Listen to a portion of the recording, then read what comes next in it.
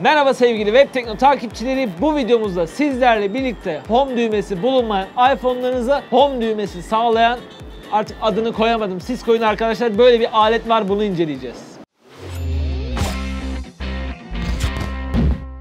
Arkadaşlar videolarımızı takip edenler biliyordur İzmir'in inşaat durumu devam ediyor. Arkadan ufak tefek inşaat sesleri gelebilir. Kusurumuza bakmayın diyelim. Bildiğiniz gibi iPhone onlarda bu home butonunu ortadan kaldırdılar. Tıpkı kulaklık girişini kaldırdıkları gibi ve ihtiyaçlar hasıl oldu. Kulaklık için bir çevirici koydular kutunun içine sonra onu da kaldırdılar. Ama kulaklığı o şekilde çözebiliyorduk. Nasıl çalıştığına bakalım dedik. Aslında bir çalışma mantığı yok. Takıyoruz taktık. Parmak izi okuyucusu işlevi görmüyor tabii ki de bunu söyleyelim. Şöyle bir ayarları girelim. Tıpkı eski iPhone'lardaki gibi artık eski diyoruz onlara. Bir geriye dönelim bakalım. Dönmedi.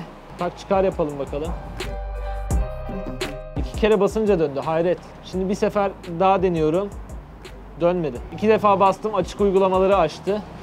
Tek sefer basayım dönmüyor. Bir de notlarda deneyelim. Şöyle biraz sert basalım. Hah döndü. Demek ki biraz sert basmak lazım. Bunu dilinden anlamak lazımmış. Bu arada bağladığımız zaman USB audio device bağlandı olarak gözüküyor arkadaşlar. Yani bunu bir ses cihazı olarak görüyormuş. O yüzden de kulaklıkla müzik dinleyebilecek şekilde ayarlanmış tabii ki de.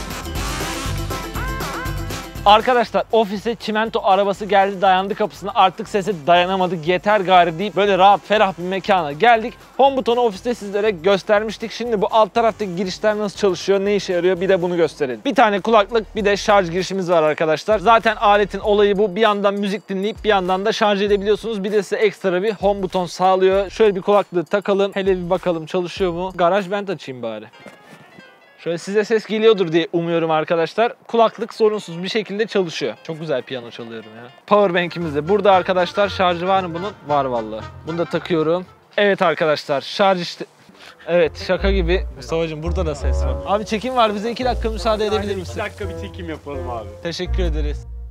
Bir de çekimler kolay diyenler var ya. Gördüğünüz gibi şarjımız oluyor. %67'deymiş. Powerbank bir yandan şarj etmeye devam ediyor. Bir yandan da müziğimizi dinleyebiliyoruz sorunsuz bir şekilde. E arkadaşlar baktık şöyle genel olarak bir toparlayalım. Home butonu olarak kullanılır mı? Bence kullanılmaz. Çok işlevsel değil. Bazen çalışıyor bazen takıldığı da oluyor. Çalışmadığı da oluyor. Ancak şu işlevde kullanılabilir. Hem şarj edeyim hem de müzik dinleyeyim gibi bir derdiniz varsa kullanılabilir. Ama onun için ayrı dönüştürücüler de satılıyor. İlla bu kadar büyüğünü taşımak istemiyorsanız daha küçükleri var. Onları da kullanabilirsiniz tabii ki de. Ha bir de şöyle bir şey var. Home butonunuz bozulmuş olabilir arkadaşlar. O zaman da tercih edebilirsiniz. İlla telefonda home butonunuz var diye çalışmayacak diye bir durum yok. iPhone 6, 6s, 7'lerde falan da çalışıyor sorunsuz bir şekilde. Bana soracak olursanız toparlama cümlesi olarak şunu söylüyorum. 75-80 lira gibi bir ücreti var. Bence alınmaz. Zaten kulaklığı çevirmek için yanınızda bir şey taşıyorsanız o zaman da alınabilir. Fark etmez yani. Çok da öyle ahım şahım bir şey değil. Böylece videomuzun sonuna gelmiş olduk arkadaşlar. Bu videomuzda sizlerle birlikte home butonu olan olmayan tüm iPhone'lara bu butonu sağlayan aparatı inceledik. Gerekli mi gereksiz mi onu yorum bölümünden mutlaka yazın. Ayrıca ürünü beğendiniz mi? Hemen şuradaki anketten de cevabınızı bekliyoruz. Videomuzu beğenmeyi unutmayın diyelim. Başka bir web tekno videosunda görüşmek üzere. Hoşçakalın. Ekranda duran bağlantılara tıklayarak bambaşka web tekno içeriklerine ulaşabilir. Ayrıca hemen ortadaki bağlantıdan kanalımıza abone olabilirsiniz. Usta Abi sağ olasın bitti.